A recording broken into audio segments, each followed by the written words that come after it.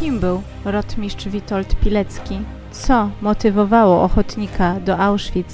Zachęcam do zapoznania się z wyjątkowym audiobookiem, który powstał na podstawie książki Duchowość i charakter Witolda Pileckiego. Czyta Kamil Prabucki. To był 10 kwietnia 1993 roku.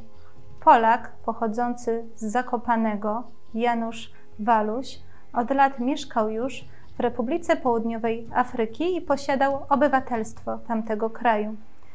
Tego dnia zaszczelił Chrisa Haniego, który był liderem Południowoafrykańskiej Partii Komunistycznej.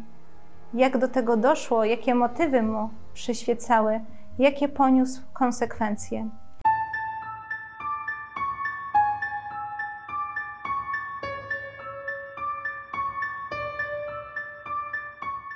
Janusz Waluś za ten czyn został skazany na karę śmierci, którą najpierw zamieniono na dożywocie, a ostatecznie 7 grudnia tego roku, czyli 2022 roku, wyszedł warunkowo na wolność. Co ciekawe, jeśli przejrzymy anglojęzyczne, zagraniczne media, dosyć sporo na ten temat się mówi, o wiele więcej niż mówi się na ten temat w Polsce. W Polsce niektóre środowiska, środowiska e, prawicowe, środowiska narodowe starają się wspierać Janusza Walusia. Na przykład wydawnictwo Freedom co roku 6 e, grudnia e, dochód ze sprzedaży książek poświęca w całości na wsparcie właśnie Polaka, który przez lata był więziony w RPA. Z kolei Media związane z gazetą wyborczą radykalnie krytykują e, tą postać. Budzi ona wciąż liczne kontrowersje. E, w momencie, w którym nagrywam ten program, od tego czasu być może pojawi się w mediach jeszcze więcej informacji. E, niewiele jest jednak tych informacji, które chcą pokazać sprawę w szerszym jej kontekście. Wyszedł po 29 latach spędzonych w więzieniu. Dzisiaj już jest starszym, schorowanym człowiekiem. Do tego e, doszła rana, jaką odniósł niedawno, gdyż już od jakiegoś czasu słyszeliśmy, że Janusz Waluś miał wyjść z więzienia. Ten pobyt w więzieniu jednak się przedłużał ze względu na to, że w ostatnim e, czasie jeden ze współwięźniów dźgnął go nożem i ze względów zdrowotnych musiał tam w więziennym szpitalu przebywać. E, wyszedł 7 grudnia. Jest to wyjście warunkowe, które e, zarówno w RPA, jak i na całym świecie budzi liczne kontrowersje. Dodajmy, że w dniu jego wyjścia na wolność e, Ministerstwo Sprawiedliwości RPA wydało specjalne oświadczenie, w którym czytamy: Nie ma wątpliwości, że przestępca Janusz Waluś jest polaryzującą postacią w naszej rodzącej się demokracji, a jego uwolnienie ze zrozumiałych względów ponownie otworzyło rany wśród niektórych członków społeczeństwa, zwłaszcza rodziny zmarłej ikony walki Chrisa Haniego. E, dalej w treści oświadczenia czytamy. Działania Walusia miały na celu wykolejenie projektu demokratycznego w jego najbardziej krytycznym formacyjnym stadium kiedy to wybór pomiędzy wprowadzeniem kraju na trwałą ścieżkę pokoju, demokracji i pojednania z jednej strony, a chaosem, konfliktami społecznymi i rozlewem krwi z drugiej, był stale oddalany o jedną złą decyzję. Zabicie Haniego bezapelacyjnie należało do tych działań, które zmierzały do skazania kraju na ten drugi los.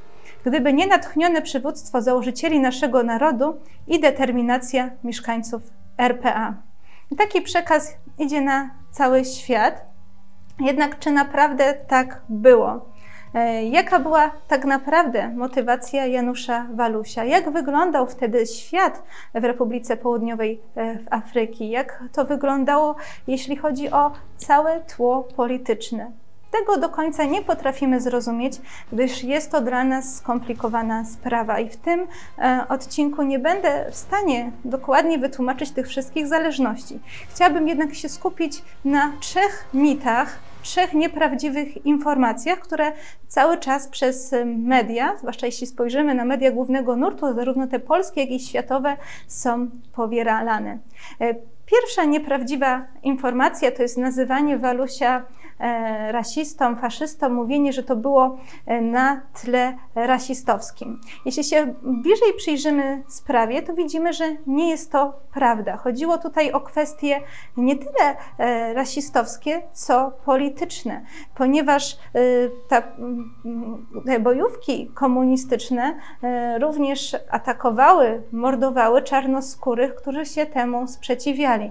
Również byli czarnoskórzy, którzy popierali ten system, jaki był wcześniej, system apartheidu, o którym no, możemy rzeczywiście się z nim nie zgadzać. Na pewno nie był to system idealny. Dodajmy, że to był system wprowadzony przez kalwinińskiego duchownego. Jednak trzeba też znać szerszy kontekst wprowadzenia tego systemu. Y, w całej Afryce mieliśmy cały czas sytuację, że różne grupki na tle plemiennym nieustannie ze sobą walczyły, nieustannie ze sobą rywalizowały.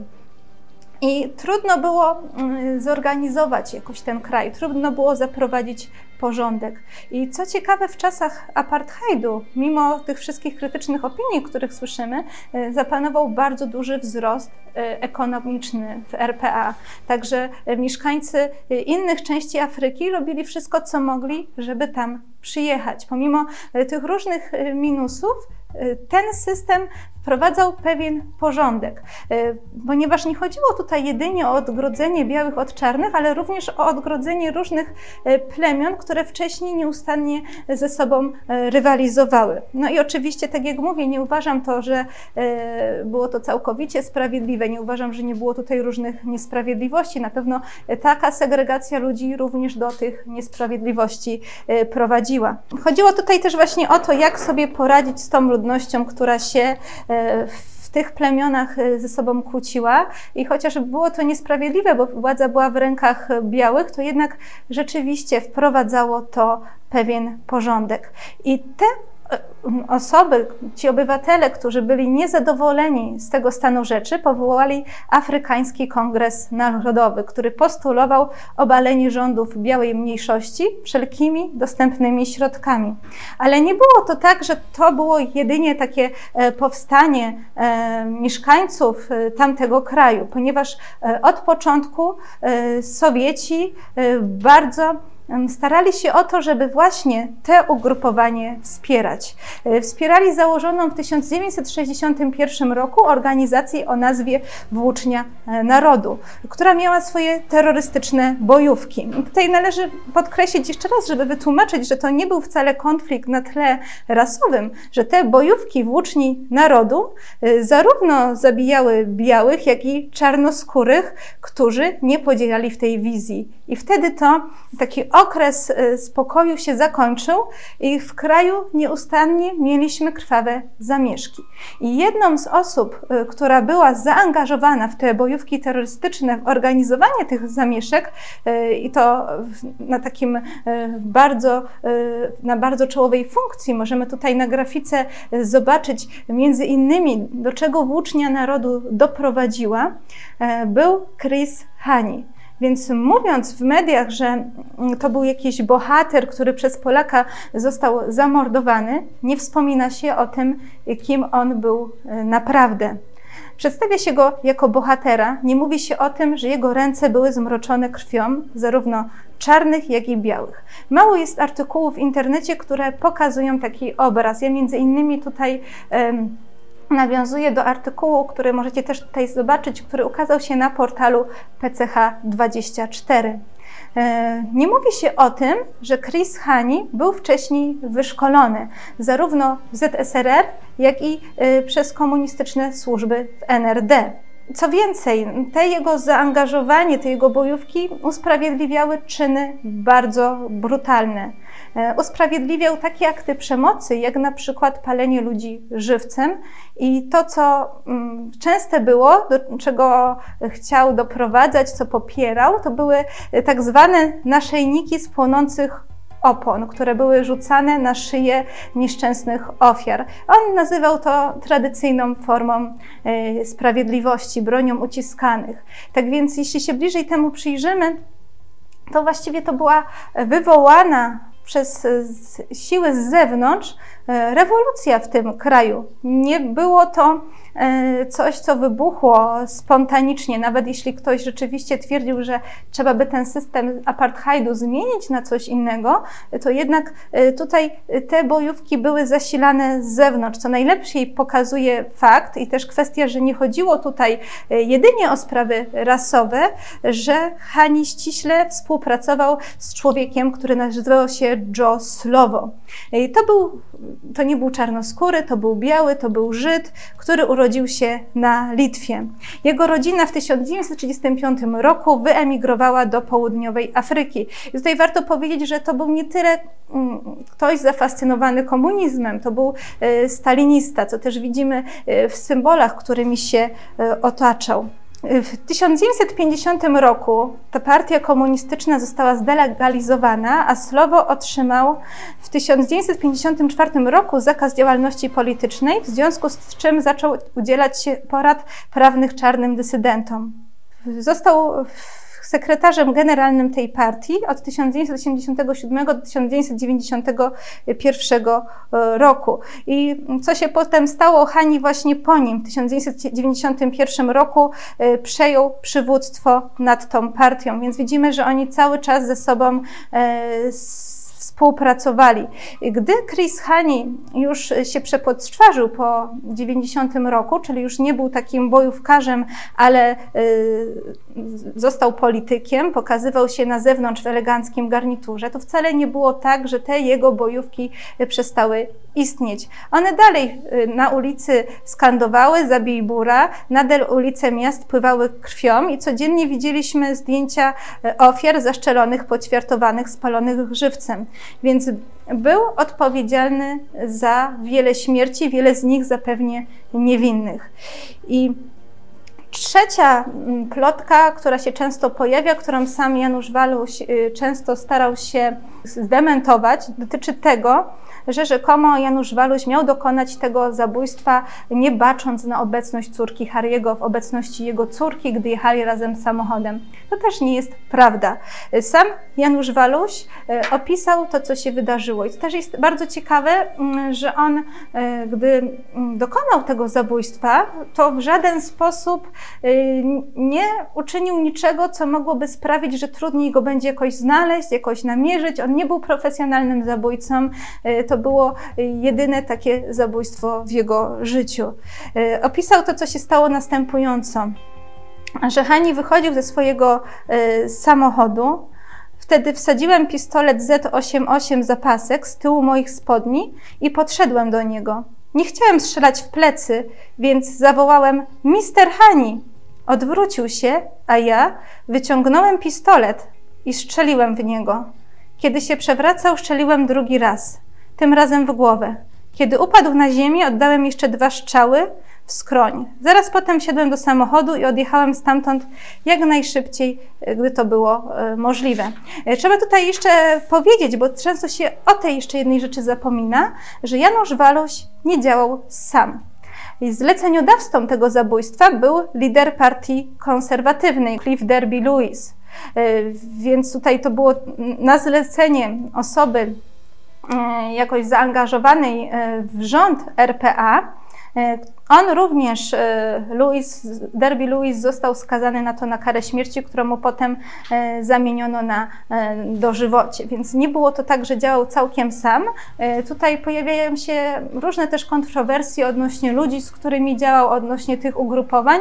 No i zapewne rzeczywiście sprawa jest skomplikowana, nie jest to tak jednowymiarowe. Warto się szerzej temu przyjrzeć, ale kwestia jest taka, że media pokazując tę sprawę, przedstawiają Haniego jako bohatera, nie mówiąc, że jest on winien śmierci o wiele większej ilości osób niż Janusz Waluś. Też jeśli mówi się o tym, że wyjście Janusza Walusia na wolność teraz e, wzbudza takie emocje i takie kontrowersje, przy tym nie mówi się o tym, że wcześniej e, wielu tych bojówkarzy, e, którzy dokonywali tych różnych zabójstw w ramach tych ugrupowań komunistycznych, które zabijały po 20-30 osób i siedziały za to w więzieniach, wychodziło o wiele wcześniej niż Janusz Waluś na wolność. O wiele wcześniej uzyskiwało amnestię. A tutaj W tym przypadku e, mieliśmy taki długi okres więzienia i wydaje mi się, że tego konkretnego zabójstwa nie można analizować bez brania pod uwagę całego kontekstu polityczno-historycznego, gdzie wtedy e, do różnych aktów terrorystycznych dochodziło na porządku dziennym. I chociaż to oświadczenie e, ministra sprawiedliwości RPA tej całej sytuacji nam nie oddaje. Jest tak, jakby Janusz Waluś był jedynym terrorystą w kraju, gdzie był spokój i gdzie nic takiego się nie działo. E, na temat tej sprawy zdecydowanie E, mało się mówi, e, jest dużo propagandy, mało mówi się o tym, jak jest. E, powstały dwie książki w języku polskim. Też zapewne każda trochę inaczej tą sprawę przedstawia. W 1993 roku Cezary Łazarewicz napisał książkę Nic osobistego, sprawa Janusza Walusia, a w 2013 roku Michał Zichlarz napisał książkę Zabić Haniego, historia Janusza Walusia. Drugie wydanie tej książki e, zostało wznowione przez wydawnictwo Freedom i również e, dochód z tej książki idzie na wsparcie Janusza e, Walusia. Chcąc przedstawić tą historię, chciałam pokazać szerszy kontekst, chciałam odkłamać pewne mity przekazywane przez media głównego nurtu, jednak oczywiście mam zbyt mało informacji, żeby sama jakoś oceniać tą sprawę pod kątem moralnym. W niektórych środowiskach, w środowiskach kibicowskich, Janusz Waluś jest przedstawiany, porównywany do żołnierzy wyklętych. Czy rzeczywiście takie porównanie jest słuszne? Za mało mam informacji. Nie chciałabym y, tutaj y, w ten sposób y, jakiejś oceny przedstawiać. Co jednak wiemy? Wiemy, że sam o sobie powiedział, że jest sam z sobą, z tym, co zrobił w największym porządku, chociaż sam nie uważa siebie za jakiegoś bohatera. Y, warto też dodać, że w ostatnich latach, w ostatnim czasie, gdy przebywał w więzieniu, e, przystępował do sakramentów, do sakramentu spowiedzi, do komunii, e, korzystając również z posługi księży e, z Bractwa Świętego Piusa X, którzy w tamtym czasie przebywali w Afryce. Tak więc na pewno pod kątem spowiedzi, pod kątem sakramentalnym z Panem Bogiem się pojednał. Warto na pewno zobaczyć tę sprawę w szerszym kontekście. Dziękuję Wam bardzo serdecznie za uwagę. Zachęcam, żeby e, wspierać kanał. Dzięki temu e, takie filmy mogą powstawać całkiem niezależnie i mówić jak jest. E, proszę o komentarz, o subskrypcję, o kciuki w górę. Do zobaczenia.